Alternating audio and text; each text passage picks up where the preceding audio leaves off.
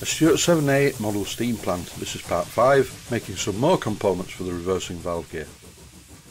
I need to reduce the thickness of the reversing lever, so first of all I tried it this way, but the brass is quite a soft metal and moves away from the tool. Instead of using the lathe, I thought I would use the milling machine instead. In this episode I'm showing several wrong ways to do things, and spinning it in the chuck is definitely not the way to go. What I need to do is fit a milling cutter and use it to machine the reversing lever to the correct thickness. Here's the milling cutter, quite a big one, and it's fitted into an R8 collet which holds it very securely. This clip shows the fabricated reversing lever clamped securely in the machine vise. All I have to do now is just mill across the top and cut it to size. Unfortunately the camera moved so I didn't get that shot very well. And now I don't need the boss to fit into the chuck, I can chop it off. And for this I'm using my old Burgess bandsaw. After rounding the end of the piece of bar and generally cleaning it up on the 1 inch belt sander, followed by various grades of wet to dry sandpaper and a quick touch on the polishing spindle, the rounded end of the reversing lever looks about right. The lever's not the right shape though, it needs to be tapered with a bit of a bulge in the middle where the hole is. And in this clip I'm applying quite a lot of marking out blue. I can never get this quite right, the brush is a little bit on the stiff side so it always puts too much on. Now it's time to make the pair of links that will pull the expansion link across the slot in the valve fork. These components are part finished. Even though they are dimensionally accurate, I don't know why the builder didn't drill the holes through the spacers when he made them. I'm going to have to do this, and also they're actually the wrong size. They're a bit too big, I'm going to have to machine a bit off them. On one side of the levers, the spacer needs to be even smaller. I'm going to do the first job wrong. Not that I'm stupid, you understand, but sometimes it's a good idea to show the wrong way to do it and what will happen if you do it the wrong way. Very much like a beginner would probably do it. So here's the part held in the chuck by the very small bit at the end. I'm trying to avoid facing across the end which will put too much pressure on the piece. Instead I'm taking small cuts from right to left, which in theory will not put quite as much pressure on this small component. Don't forget this part is only held in the chuck by the very end part and that is very small. So far so good, but when I get near the middle, watch. The part comes loose in the chuck. Why didn't the part come loose in the chuck right at the beginning of the job? It's all a matter of speeds and feeds relative to the diameter of the piece and where the lathe tool is at any given time. I've refitted the part into the chuck but I'm holding it by the main body so it's not going to jump out of the chuck this time. So what happened before? Well, it's all a question of speeds and feeds. If you think about it, the chuck is revolving at a constant speed. So the metal is going past the tool on the outer diameter much faster than it does when the tool gets nearer the centre. Maybe if I'd been more gentle with the tool and taken finer cuts near the centre, I wouldn't have had the problem but it's never a good policy to hold a part by a very small protrusion that is too small to give it the correct mechanical support. Apart from leaving these parts oversized, the original builder did not drill the hole down the centre, so I'm doing that on all four of them, starting with the centre drill and following through with the number 40 twist drill, which is clearance size for 7BA. The size of stud I'm going to be using to hold these parts together.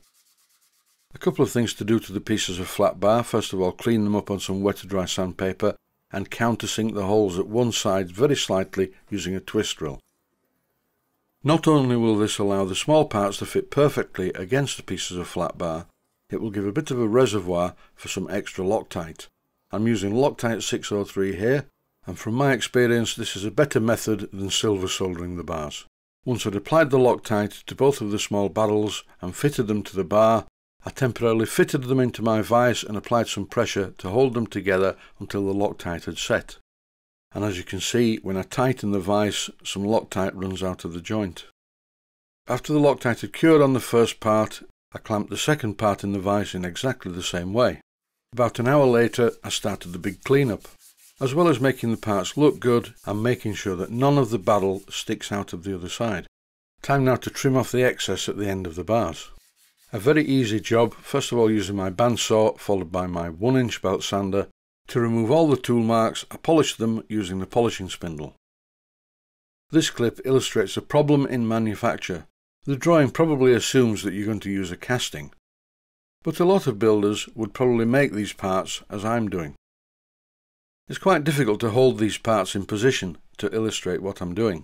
I've reduced the width of the two barrels only at one end to allow the drop arm to fit in between, because the drop arm is wider than the expansion link. Here we go again, one more time.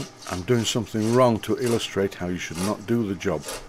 I need to machine a piece of phosphor bronze to make a bush for the oversized hole in the drop arm. And initially I was taking far too great a cut, that's why the tool was jumping about. And don't forget, as I previously mentioned, as you move towards the centre of a piece of work, it slows down, so therefore you have to slow your cut down as well if you want to get a good finish.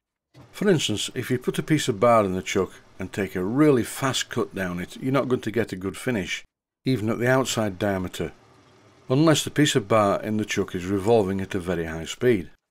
So don't forget, the general rule is the lesser the diameter, the lesser the surface speed. But if the chuck is fitted with a larger diameter piece of metal, then the surface speed may be excessive. To allow for parting off, I'm just taking off a bit more of the metal. It will make parting off slightly easier and now as you can see I have plenty of tolerance. What I'm doing here is trying the drop arm in position and then setting the parting tool to cut the bush to the correct length. A short while ago I showed the drilling process using a centre drill first, followed by a number 40 drill which is clearance size for a 7BA stud. A number 40 drill is definitely a clearance size for a 7BA bolt but it's a tight clearance size. But that's what's shown on the Stuart Models drawing, so who am I to argue with that? I'm sure it will all wear together once it starts to run. Until all of these parts are held together in the bracket and fitted with the reversing arm, it's quite difficult to move the expansion link back and forth. But there's nothing wrong with the expansion link and the valve fork, I've already tested that. It's just a bit difficult to keep everything in alignment at this stage with everything being loose.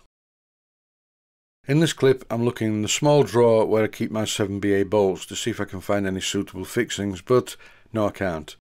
I'm not going to use bolts with a thread, obviously that would be terrible.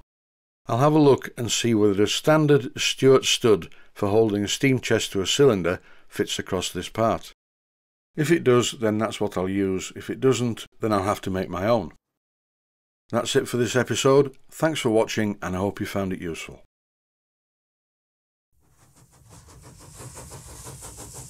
Please take the time to visit my Mainsteam Models website. Click on the section of the website that says Video Playlists. And by doing that, you will find it very easy to find other videos that you may like to watch.